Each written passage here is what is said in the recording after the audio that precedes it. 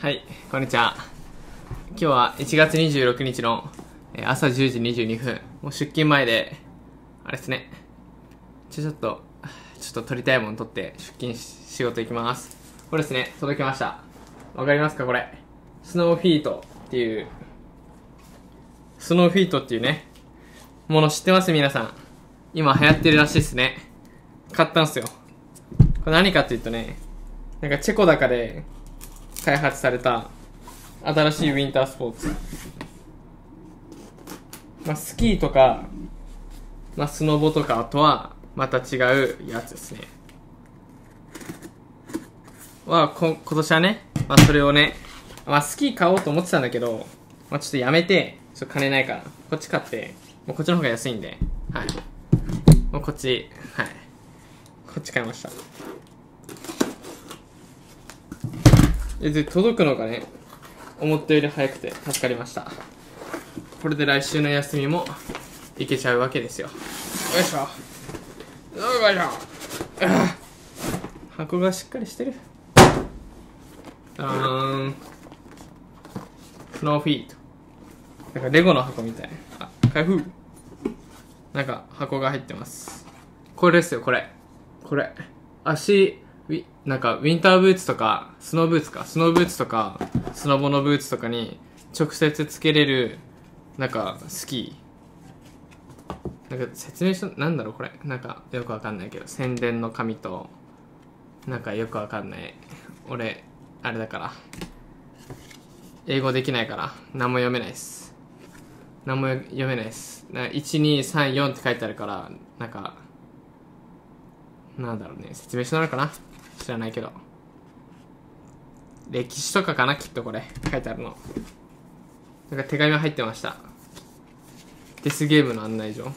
ステッカースローフィートあ日本語訳されてますね。日本語の手紙でした。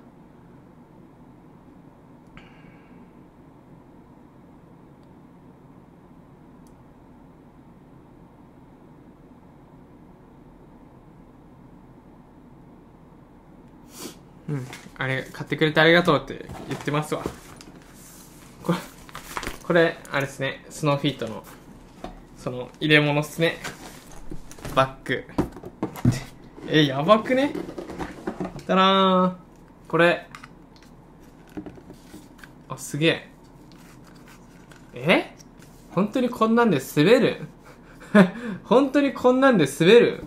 え大丈夫これ？こうやって足につけて。結構でかい。こういうやつですね。結構でかいな。で後ろがちょっとなんだろうね。ブレーキ用でなんだ後ろ向きで滑るのちょっとコツいそうだな。これで本当に滑るのかな、まあ、ちゃんとエッジもついてるんでブレーキとターンを簡単にできるって言ってたな。え嘘でしょ？ほ本当に？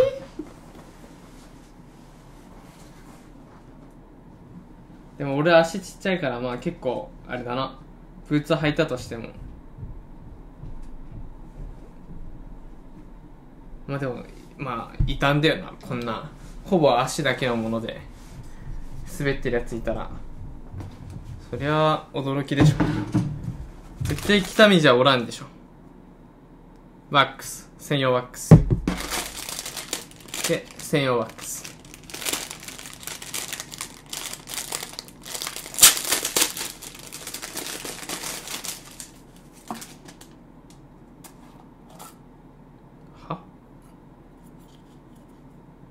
これ使ってこの白いやつを塗れってこと？これは多分もともとワックスついてんだったら買わなくてよかったし。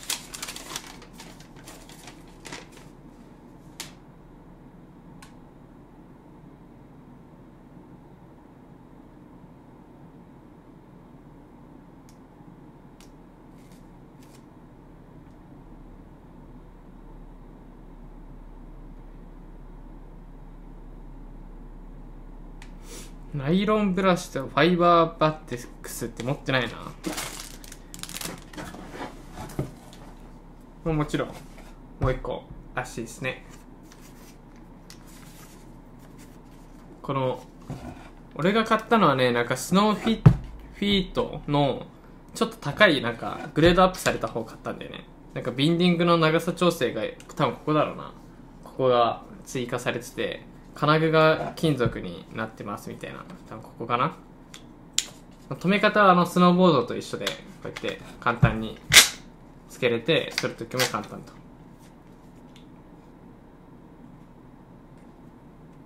あ、ここで、なるほどね。まず靴がないんですね。はい。これ届いてないんですけど、靴ないんですね、僕。え、錆びてねもう。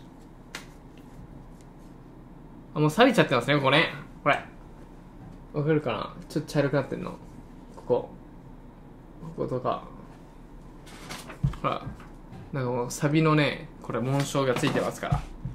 もうがっつりかかとの方とか錆びちゃってますね、これね。ほら。よろしくないですね。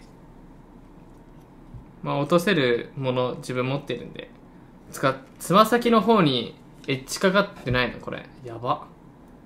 え、怖っ。怖っ、これ。え、じゃあマジで、え、これノーズ系の技も結構できるかな？できるだろうな。こんなエッジもかかってなかったら、ツルツルテンテンで滑っちまうんだろうな。うわ、これ超楽しみなんだけど。乗り回して、早く。北見のゲレンデでね、乗れるのかっていう。結構なんか雪質でなんか、その、乗れるか乗れないかっていうか、そのなんだろうね、乗りやすさっていうの左右されるみたいだから。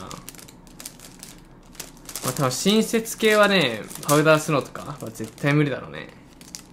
だから、まあ別にスキーとか持ってって、行ける日は滑って、行けない日は滑らんみたいな感じで。まあ、結構もう座学とかね、いろんな動画とか見て済ましてきたんで、あと乗るだけです。いや、マジ楽しみだなまあメンテナンスして、まあ次の休みは月曜日まで休みないんで、まあ、それまで眺めて妄想しながら楽しみでいきたいと思います。はい。ぜひ皆さんもスノーフィート買ってみてください。この動画の説明欄に、えー、その公式の、あれですね、貼っとこうかな。うん。説明欄見て、概要欄見て、皆さんもチェックしてみてください。では、じゃあね、バイ。